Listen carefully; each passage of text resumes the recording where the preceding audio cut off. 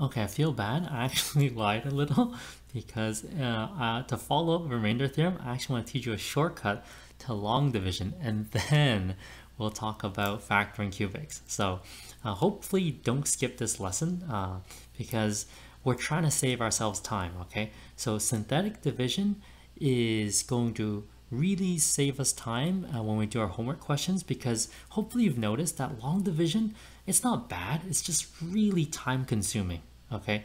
Um, so when you look at the homework solutions that I do I don't I don't do long division very often unless the question specifically asks me to do long division.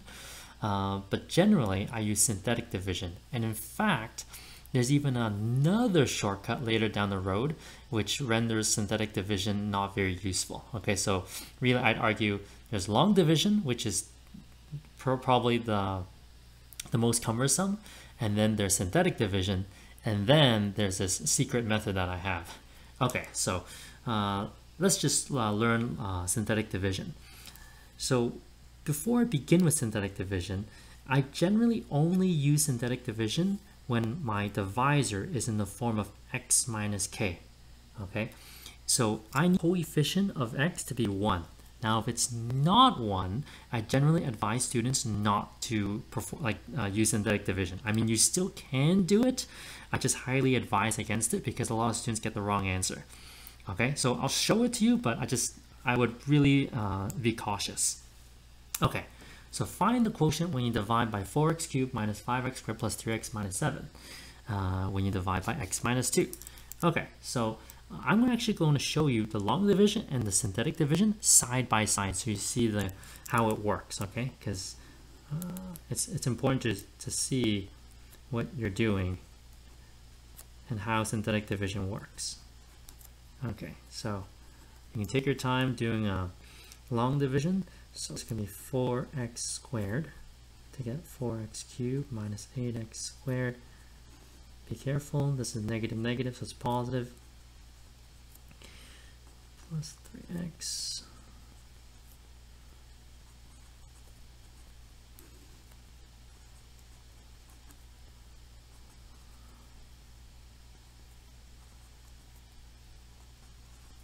Subtract, subtract. Boom, 11. Okay, so your quotient is actually 4x squared plus 3x plus 9. So I'm going to do a side-by-side -side comparison. This time I'm going to do synthetic division. So I'll write it down and then I'll show you where I'm getting these numbers from. Okay.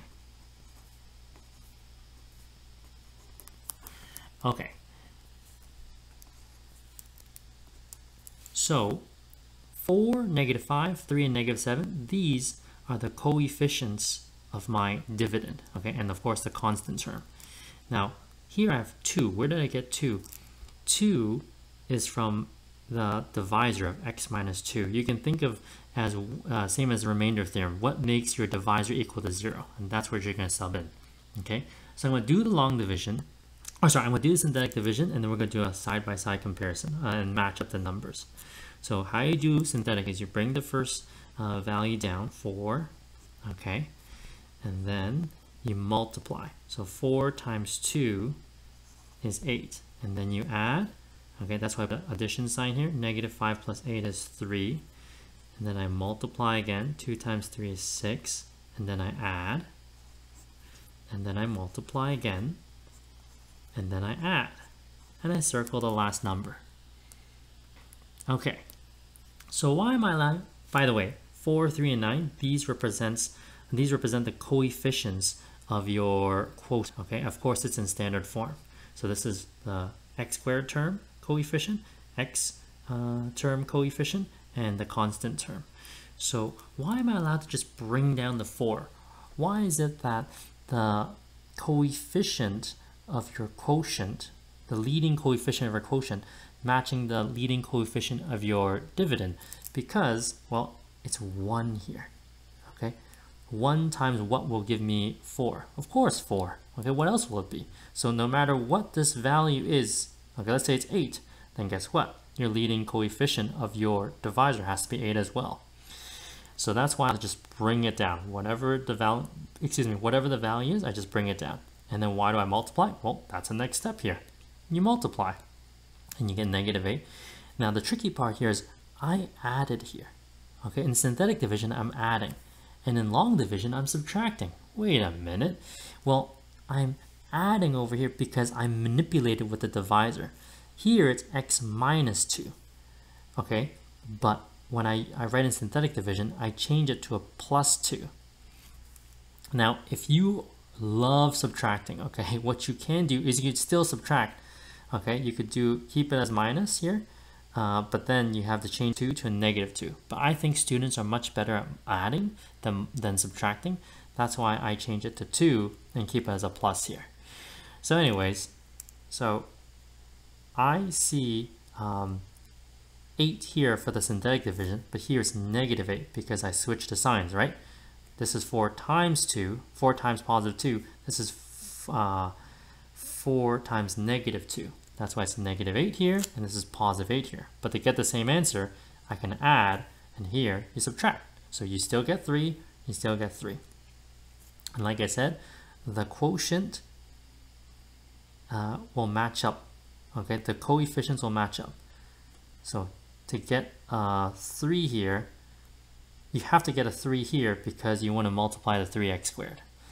And that only works out because the coefficient of the x term is 1. That's why I told you for synthetic division, your divisor has to be in the form of x minus k. If it's not, then you have to you have to do some manipulation. Okay, so anyways, it basically repeats itself from there. So you um, you add again, uh, and here you subtracted, and then you multiply, you add, and here you subtracted, and you add again. Oh, sorry, you multiply, and then you add again, you multiply it, and then you subtract it. Okay, so really take your time, look at it, but um, it's really the exact same steps, but it's much more condensed because I don't have to write the variables and the exponents. All I'm writing are the coefficients. Okay, so therefore, uh, quotient is 4x squared plus 3x plus 9. Oh, uh, the last number, I circle it just to make sure I don't confuse this with the quotient. This is the remainder. Okay, so let's try again. So this time I'm not going to use um, long division, I'm just going to jump straight to synthetic. But if you want, you can do another side-by-side -side comparison. I find that it really helps. Now be careful here, I tried to trick you.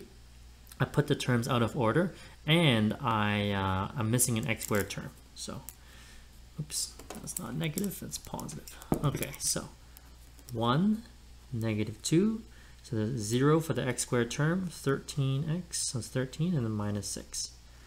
And here I'm going to put a negative 2 because I prefer to add. Like I said, if you love subtracting, sure, just write a plus 2 here.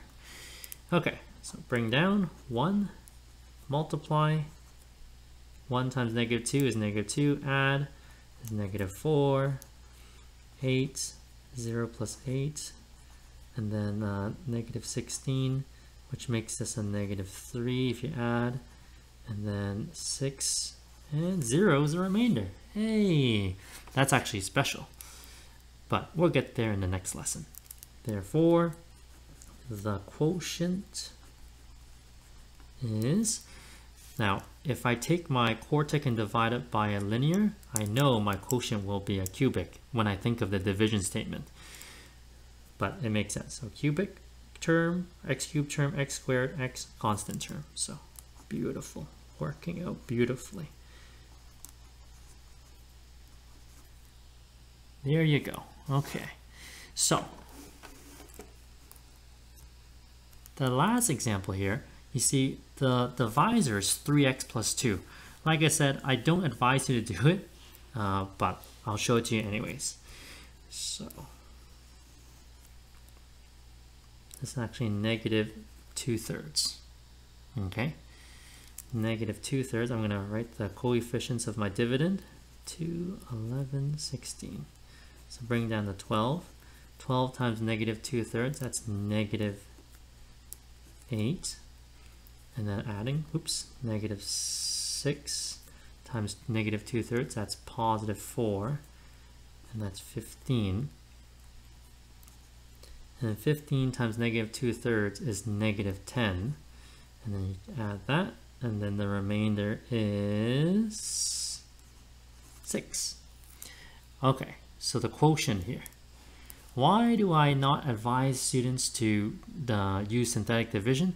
Because the quotient you get is different. Okay, this quotient is not the correct answer because what happened is what you're really doing is you're no longer dividing by 3x plus 2. You're dividing by x plus 2 thirds. Okay? So you're no longer dividing by 3x plus 2, which means this is not the real answer. Okay, so I'll try to give you a good analogy. Let's think about 36. Okay, okay. The, if I take 36 and I ask you to divide it by 12. Okay, 36 divided by 12 is obviously 3. Now, but then let's, for whatever reason, let's say you change my question. You're like, I don't want to do 36 divided by 12. I'm going to take 36 and divide it by, let's see, you're taking a, when you go from 3x plus 2 to x plus 2 thirds, you're taking a third of the intended divisor, a third of the intended divisor. So take this 12 and you're going to take a third of it, right? So 12 divided by 3 would be 4. So what do you know? If you change my divisor, you take a third of what my divisor is, you actually triple the quotient, right? If you take a third of my divisor, you get triple the quotient. So this is triple of what it should really be, okay? This is not the correct answer. Therefore, the quotient is so you take this and divide it by 3. It's 3 times of what it should be. So divide it by 3, which means it's 4x squared minus 2x plus 5. Right? Divide by 3, divide by 3. Perfect. So I, I most students who do this, they um, they just copy the, the quotient here, and they say so. They would say that the quotient is 12x squared minus 6x plus 15. Uh, but it certainly isn't.